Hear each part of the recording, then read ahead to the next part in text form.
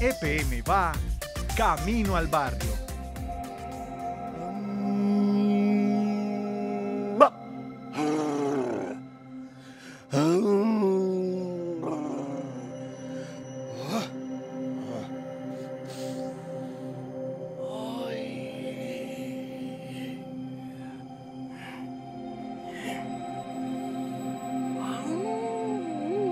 ¿cómo estás? ¿Bien o no, vecino?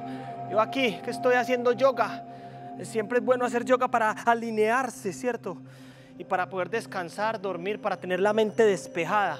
Aunque la verdad yo creo que hoy ni siquiera necesitaría hacer yoga, porque estoy en un lugar que está lleno de naturaleza, de calma, de silencio, de agua, un territorio que supo adaptarse como ningún otro, que es capaz de inventarse, reinventarse, volverse a inventar, y es nada más y nada menos que el Peñol. Y hoy me acompaña la gente linda del Peñol, ¿cierto? También estoy haciendo yoga aprovechando porque la invitada que tengo hoy, fuera de ser una profesional, una profesional del, del ambien- de lo ambiental y lo social, le encanta el yoga. Entonces eh, me estoy preparando para que ella, pues a ver si practico yoga con ella. ¡Ay! Tocaron la puerta. Abra, abra que está, está sin candado. Cuidado con el perro que está amarrado. Ay, Nata- sigue Natalia, por favor. Te estaba esperando. Tú eres experta en yoga, ¿cierto? Sí, claro. Hola, bienvenida a mi apartamento. ¿Quieres intentar, me quieres revisar la postura? Mira, tengo la de, la de montaña o perro hacia abajo. ¿Cómo me ves? Muy bien. ¿Bien? Ahí, ¿cómo me ves? Muy bien. ¿Alineado? Alineado. Ahí, Todos- ¿cómo me ves? Todos los chakras están alineados. Aquí, ¿cómo me ves? Bien. Ay, no, ayúdame a parar porque ya me quedé pegado. Tienes que practicar Qué más. pegado, mentira, no. Bienvenida, toma asiento, por favor. Ay, hay que practicar más. Pati, bienvenida a mi casa. Gracias. ¿Te puse a pasear mucho para venir al Peñol o venís al Peñol normalmente? Sí, claro, vengo mucho al Peñol. ¿Qué es lo que más le gusta hacer a usted en el Peñol? Recorrer sus calles, sus veredas, eh, las montañas, Sí. eh, recorrer el embalse. Ay, sí, es que la verdad es que es muy bonito. A ver, yo me he visto para la ocasión, faltaba más. No creas que te va a atender así. Ahora sí. Ahora sí. Nati, contame un poquito. Vos tenés un título muy bacano en EPM. ¿Cómo es ese título? Ambiental y social. Sí, profesional, ambiental y social. ¿Eso viene siendo como qué o qué? ¿Qué hace una persona profesional, ambiental y social? Sí, eh, para las centrales de generación de energía, en este caso la de Guatapé, eh, tenemos municipios que son del área de influencia. Yo desde el área ambiental y social, precisamente eso es lo que, lo que realizo. Toda la gestión para el cuidado de los recursos naturales, gestión con comunidad, con líderes comunitarios, para que ese territorio sea sostenible y eso también a su vez repercuta en la sostenibilidad de la empresa. A ella se le nota que el tema de ella como que le gusta, ¿sí? sonríe mientras habla, dice, ay, todo lo ambiental, lo social. Ahí tengo una vecina, que es la vecina Miranda, mírala, esa es la vecina Miranda, para que sepa, ella siempre está mirando, a ver, gorreando. Ahorita te regalo algo, un, un incienso o algo, bueno, muy atenta a todo lo que pasa aquí en EPM va camino al barrio.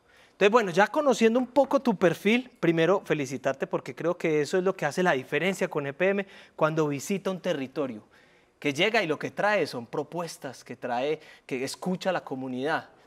Pero primero hablemos del Peñol. ¿Qué sabes tú del Peñol? El Peñol es un municipio que está ubicado en el oriente antioqueño. Es un municipio con una historia eh, bien importante, no solamente para toda la comunidad del Peñol, sino para la historia del país también, por todo su aporte a, a la energía que necesitamos para crecer como país, como sociedad. Eh, es un municipio con una vocación agrícola que permanece todavía, aún pues con, con todos los cambios Y que se han EPM dado. participa también en, estas, en esta intervención agrícola. Sí, es decir, eh, ¿O llevas vacas y acompañamos... cosas de allá de EPM? No. ¿Marcadas EPM? No, claro que no. Ah, no. No, eh, pero estamos hablando de que PM eh, trabaja también con el agua, es decir, con los recursos naturales que hay en el Peñol y en todos estos municipios del oriente antioqueño. Eh, el agro, toda el área eh, rural, ¿cierto? En el Peñol particularmente, tiene todavía una vocación agrícola muy importante. Hay unos renglones productivos como el tomate, fruta pequeña, por ejemplo, y desde ahí apoyamos como en varios sentidos. Uno, a que esos procesos incorporen buenas prácticas agroambientales y segundo también a que sean sostenibles. Hay productores campesinos y esto es muy, muy eh, particular en el municipio del Peñol y en otros municipios del Oriente también, pero mm, esa vocación agrícola en las veredas, en sus comunidades campesinas, eh, es muy bonita, es muy fuerte, es muy marcada y pues apoyamos esos procesos desde las capacitaciones en tema técnico, pero también fortaleciendo en temas de asociatividad para que esos procesos productivos sean sostenibles para este territorio, para estas comunidades y en ese territorio sostenible podamos convivir todos. Una de las cosas que más me gusta a mí cuando visito el Peñol es que uno puede comer pescado y ese pescado nació ahí, creció ahí, me lo sirven, está fresco. También EPM tiene ahí ese acompañamiento. bueno, antes era todo lo, lo, agrícola y ahora también tenemos todo lo referente al agua, que también tenemos peces y demás. Em, efectivamente, en el embalse hay un recurso pesquero, ¿cierto? Y hay muchas comunidades también que se dedican a pescar en el embalse. De todas formas, pues precisamente hay embalse porque hay una oferta hídrica, es decir, hay ríos, hay quebradas con eh, buena cantidad de agua. Entonces, eh, siempre ha existido la actividad de pesca. Sin embargo, eh, en este embalse, que tiene un uso principal, que es generar energía, para la región, para Antioquia, para el país, también hay otros usos. Y eso lo hemos visto todos pues cuando recorremos esta zona. Oíste, pero aquí entre vos y yo. ¿Vos comes mucho pescado? Me encanta. Ah, ¿viste? Primera pregunta, ¿le encanta el pescado? Pregunta número dos, ¿tu mascota es un pescado? Sí. ¡Que pase el amante! ah, ¿cómo. ¿Y eso qué te parece? O sea, ¿cómo haces tú, cómo se llama tu pececito? Se llama Happy. Happy. ¿Usted cómo hace para decirle a Happy, ay, vengo de comerme una tilapia, una prima tuya deliciosa? Eh, yo creo que él no me escucha porque la pecera y el pez es así chiquitico. Chiquitico, chiquitico. Vamos no, yo no le pues, cuento esos detalles. Para no meterla pues en este problema así, que piénselo, eso sí, piénselo, medítelo, háblelo con Happy. Entonces usted le canta mi cosa, happy. Sí, claro. Solo uno. Cuando le doy la comida. Son tres. ¿Son tres? ¿Qué son? ¿Beta o qué tiene? Eh, sí, son beta. ¿Tres beta? Sí, pero, no están juntos porque los beta no pueden estar juntos porque pelean. Es como el peñol. Usted los pone juntos y le saca la piedra. Mismo lo pillamos. O el peñol tiene una piedra. Está Bueno, luego hablamos de eso. Venga, le muestro una crónica para que vea un poquito de historia de lo que ocurre aquí. Esta casa fue testigo de los recorridos que a diario realizaban los campesinos por las calles empedradas que existían antes de que éstas quedaran bajo el agua. A caballo, a pie y en carro, los habitantes de este municipio llegaban los domingos para asistir a la misa y para vender y comprar sus productos en el parque frente a la iglesia que tanto los enorgullecía. Y precisamente frente a esta casa y en medio de las aguas se puede ver una cruz la cual señala el sitio exacto donde quedaba el templo. Las casas, las calles y la iglesia quedaron en escombros bajo las aguas del río Nare, dando paso al embalse Peñol Guatapé, con el cual se genera el 30% de la energía del país. Así los habitantes de El Peñol, como el ave fénix, renacieron con más fuerza y hoy, a pocos metros del embalse, reconstruyeron su historia y son reconocidos como el Fénix de Oriente. El plan de desarrollo del municipio, en articulación con EPM, cuenta con varias líneas estratégicas, dentro de las cuales se encuentra el peñol productivo y competitivo, con lo cual varias familias del municipio han fortalecido sus proyectos al contar con acompañamiento, asesoría y capacitación permanentes dentro del programa Más Campo, Más Sostenible, lo que les ha permitido a más de 700 familias del sector rural tener cultivos con mayor productividad, más sostenibles y con incremento en sus ganancias. Incluso, a través del programa se han fortalecido las estructuras asociativas para tener una mejor comercialización y para que los productores se apoyen entre sí. En la parte psicológica, en la parte productiva, me, he visto muy beneficiada porque estaba atravesando una época muy difícil. Estoy beneficiado con el programa en el tema del tomate, con los insumos que entregan, la asistencia técnica, que es muy buena y muy bueno de EPM que esté aportando al campo. Sin dejar de lado su vocación con el campo y para mantener viva su historia, los habitantes de El Peñol ahora miran al futuro explorando sus riquezas naturales para que los turistas puedan recorrer no solo el embalse, sino también sus caminos ancestrales, avistar aves y recordar el viejo Peñol. Sí, este, lo que más me gusta de las crónicas es que puedo conocer la gente, nosotros llamamos a esto el barrio, ¿cierto? El barrio que EPM está justamente ahí. Y cuando yo lo veo él pienso, ¿qué hacemos con la comunidad? Tenemos un programa ahí para, para poder generar más lazos con la gente. Sí, claro. Eh, las comunidades son la parte central en esta gestión ambiental y social, ¿cierto? Bien porque tenemos eh, el propósito central de cuidar los recursos naturales, todos los necesitamos, la empresa, las comunidades, todos los que habitamos en este territorio, pero también ese componente social. Y ahí son fundamentales eh, los líderes comunitarios, los de las juntas de acción comunal que representan cada una de las veredas. Y que conocen, son los que conocen la vereda, el territorio, la gente, todo. Los conocen por completo y también nos dan señales a nosotros importantes en temas del embalse, en temas de calidad de agua, en temas de, de otras necesidades, por ejemplo en el tema agropecuario, pero también en esas necesidades de fortalecimiento comunitario. Entonces desde ahí establecemos em, unos convenios, unas actividades que desarrollamos con instituciones de la región para formar estos líderes comunitarios en temas de liderazgo, de participación, de formulación de proyectos em, y quedan unos líderes muy fortalecidos. En el Peñol, en el Oriente en general, hay una capacidad local muy chévere, es muy, muy chévere trabajar con estos líderes Son muy comunitarios. también, ¿no? Uno al Peñol y siente que todos están con ganas, que quieren mucho su tierra y su agua, Así es. que ahí aplica. Nosotros sí queremos mucho nuestra tierra y nuestra agua. Y esto está ocurriendo, está esto en, portugués, yo siempre lo pienso en portugués, le dicen esta parcería, este, este trabajo como de amigos, esta unión, y así desde el principio, desde los años 70, yo sé que desde ahí ya se generó un vínculo con la gente. Entonces, eso creo que hay que mantenerlo cultivando y la mejor forma es a través de los líderes sociales. Sí, con los líderes comunitarios desarrollamos entonces estas capacitaciones. Esto hace parte del cumplimiento eh, de obligaciones ambientales, pero EPM eh, va más allá en ese ejercicio de lo estrictamente obligatorio. Entonces, también de una forma voluntaria sumamos esfuerzos con municipios y otras instituciones y formamos estos líderes comunitarios. Ese fortalecimiento finalmente redunda es en, en mejorar condiciones de vida para estas, para estas mismas comunidades. Hay una actividad que se desprende muy chévere de estas formaciones, de todo este proceso de fortalecimiento, de las capacidades eh, en general de las juntas de acción comunal y otras organizaciones similares, y es que quedan con muy buenas herramientas para ejecutar, por ejemplo, algunos contratos directamente con EPM. Eso está muy bueno. Eso genera empleo, Te he tirado preguntas fáciles, me he portado bien contigo porque eres una invitada. Yo quiero mantener además bien alineados pues, nuestro Jin y nuestro Jan, Jin Jan. Y, pero ha llegado el momento de la pregunta difícil. Pregunta difícil. ¿Adán y Eva tenían ombligo? Claro. Sí, ah, bueno, ya es una duda que tenía. Pregunta difícil número dos. ¿Por qué el agua de la represa es verde?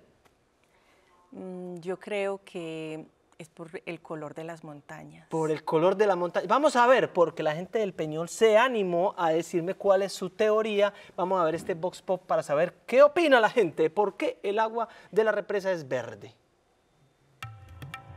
¿Por qué el agua del embalse es de color verde? El aumento de cultivos en la zona del embalse y sobre todo de cultivos a gran escala ha traído que se utilicen muchos químicos para el mantenimiento de los mismos. Por las algas que hay ahí. El agua del embalse es verde porque dicen en el pueblo que ahí vive un animal. por esos organismos que se encuentran flotando en la superficie del agua. Por ejemplo, predominan eh, las cianobacterias y como ellas realizan fotosíntesis se ubican entre la superficie y subsuperficie de la columna de agua.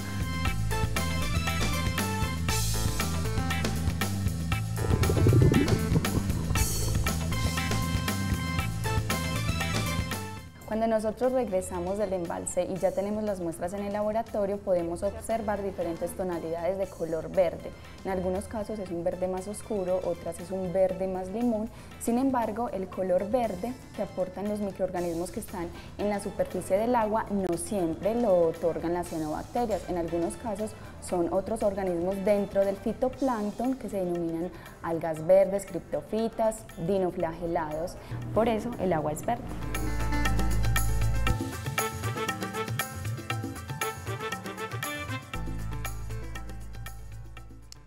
Con razón. Entonces son los microorganismos quien los ve tan pequeños, pero ya cuando suman ya generan el color completo del embalse. Si lo hiciéramos así en una metáfora, ¿EPM vendría siendo un microorganismo para la energía del país o sería un macroorganismo? ¿Cuánta energía sale de aquí para el país? Eh, la energía que aporta el embalse, el peñol y la central, en este caso Guatapé, que es la que eh, genera energía con el embalse Peñol Guatapé, eh, es bien importante, es un porcentaje altísimo para la energía del país.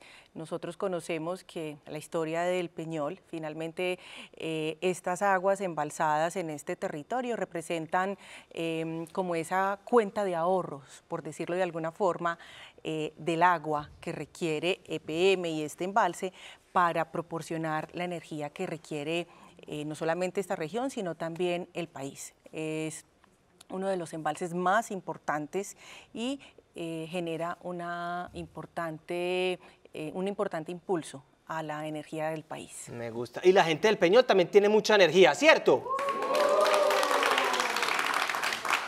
Ellos están de verde porque también son microorganismos aquí conmigo, ¿cierto? Todos somos microorganismos, qué belleza. Vamos a ver entonces, voy a tirarte una trivia a ver qué tanto conoces del Peñol, pero no me la vaya a contestar porque ahí vamos a unos comerciales y cuando regresemos sabemos la respuesta, pero le doy tiempo para que lo piense. Vamos a ver la trivia.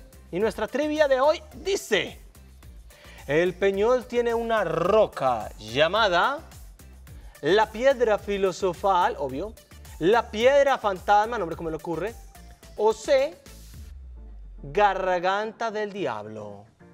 Vamos a ver, váyanlo pensando, también tengo la gente del Peñol aquí pensando, pero vamos a unos comerciales y al regresar sabremos la respuesta a esta trivia.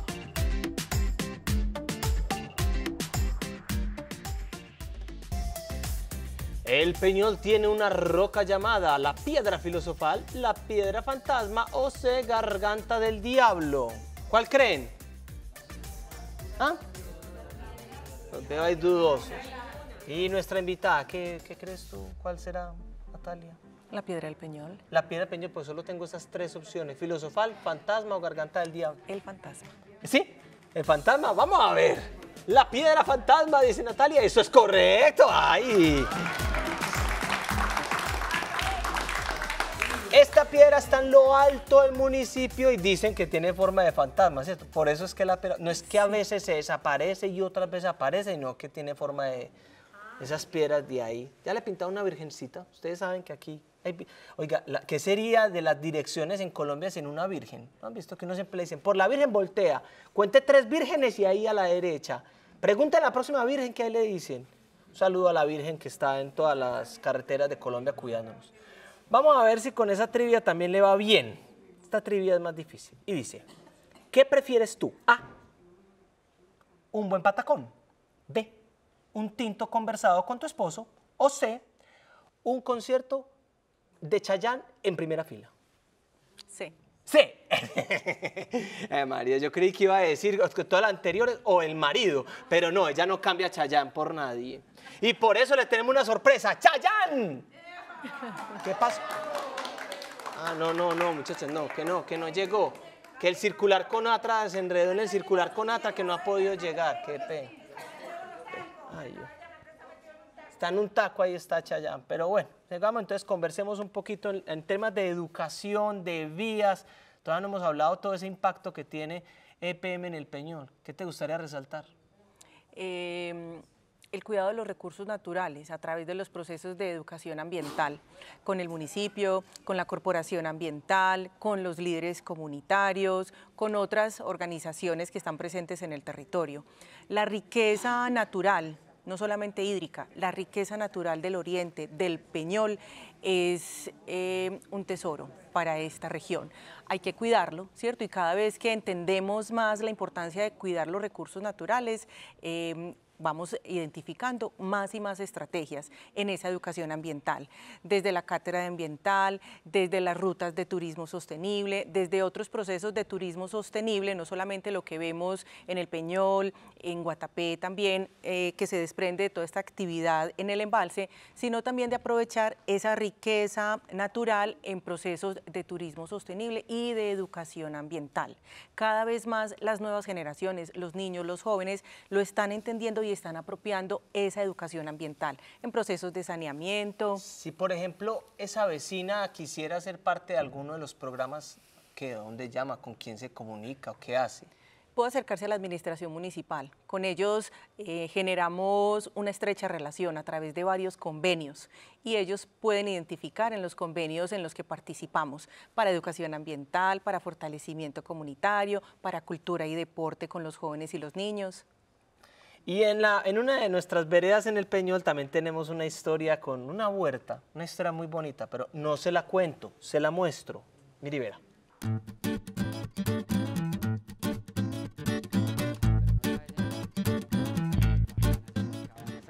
Espera, mire ese montón de gente que viene. ¿Hay una aquelarre o qué? ¿Qué es una aquelarre? Es una reunión de brujas.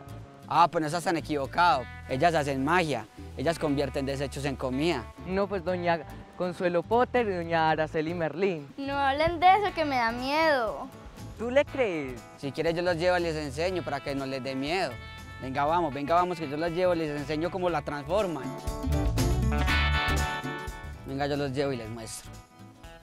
Miren, aquí es donde están las lombrices. Miren las lombrices aquí. Esto es toda la, magia que hace. Y color incolorado, vea, en cebolla, en maíz, en plátano, en limones, en granadilla, en piña, en todo eso se ha transformado. Eso no es magia. Ay, Álvaro, por Dios, ¿qué estás diciendo? Pues tía, que yo vivo muy orgulloso de todos ustedes por todo lo que hacen y por cómo ayudan a todas las familias. Ay, mi amor, hasta tiene razón. Claro que sí, vea, yo le muestro. Es que EPM nos ha enseñado cómo hacer los lombicultivos. Y esto es con el fin de poder abonar todo esto que tenemos, todo esto que nos produce los frutos. EP nos proporciona los abonos, los insumos, todo, mi amor, vea. Sí, ven que sí tengo razón, que sí todo esto es magia. ¿Cómo así? ¿Las lombrices cómo se van a convertir en maíz? Valentina, eso es un proceso muy bonito, pero no es tan simple.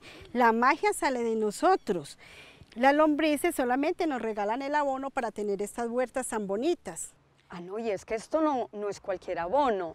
Esto es orgánico, no tiene químicos, cuida nuestra salud, el medio ambiente. Y si no, miren a sobrino, vea, comiéndoseme ya las frutas. Ah, se venga, yo la comparto. Ay, es que esto no tiene precio. Gracias a Dios, yo tenía mucho susto con las lombricitas. Ah, venga, mija, yo le doy una aromática para que se tranquilice. Pero esto también tiene lombrices. Ah. Pero es verdad, pero ¿qué sería de ese territorio sin lombrices? Uno necesita lombrices para que eso sí esté rico, para que el compost esté bien bueno. Ve, ahí, ahí viene la vecina, aprovecha que ella sí me dijo que si vos venías, que, que para que le, la saludaras. Dale ahí un mensajito a la vecina para que se vaya tranquila. Hola vecina del Peñol, eh, desde PM estamos muy contentos de poder hacer parte de este territorio, de crecer juntos, crecer con esta comunidad, con todo el oriente antioqueño, crecer en capacidades, en fortalezas, en el agro, en el cuidado de los recursos naturales, en líderes comunitarios empoderados y cada vez con más capacidades. Estamos contentos de aportar al desarrollo de este territorio, del Peñol y del oriente antioqueño. Eh, qué bueno. Sí vio vecina, ya, y ella es líder además, ella es líder, ella es líder para pedirme aquí arepas los domingos, que ay, no tengo arepitas, préstame un paquete. Pues yo hago aquí arepas allí en, pues yo mismo, apilo y hago, Qué bueno. ahí está. Bueno, me gusta Qué mucho que nos hayas hoy visitado, me quedan muchos mensajes y es cuando trabajamos en equipo, cuando trabajamos desde la comunidad, ahí los proyectos florecen de una manera mágica, ¿cierto? La Así gente es la que sabe qué es lo que necesita y entre más empoderada esté la gente mejor, ¿cierto? Así es. Hay mucha, mucha capacidad de trabajo en equipo, de trabajo juntos, articulados con la comunidad, con las instituciones y con toda la presencia institucional y de diferentes organizaciones que hay en este municipio del Peñol y todos aportamos desde nuestro saber hacer. Perfecto. Y me enteré que querés una foto con el ave fénix. ¿Cierto Ay, que sí? Camina entonces, venga, vamos, nos tomamos una selfie. Espere, yo cojo mi celular también. Y la subimos, pero la subimos a las redes y me taguea David Sanín. Cambiamos por allí, salgamos por el patio. Yo tengo aquí doble salida, salgamos por el patio y la buscamos. ¿Quién más va a ir al ave fénix, vecinas? ¿Quién quiere ir? Caminen, vamos. Vamos pues. Selfie, selfie, ven, selfie con las vecinas. A ver la del ave fénix. Eso, camine, vamos. ¿Es por dónde es? ¿Por dónde es? Por allá. Vamos, vamos para la foto, para la foto. ¿Quién es la que va a invitar arepa de chocolo? Esta es la que va a invitar. Esta le gusta pescado. Caviar, caviar.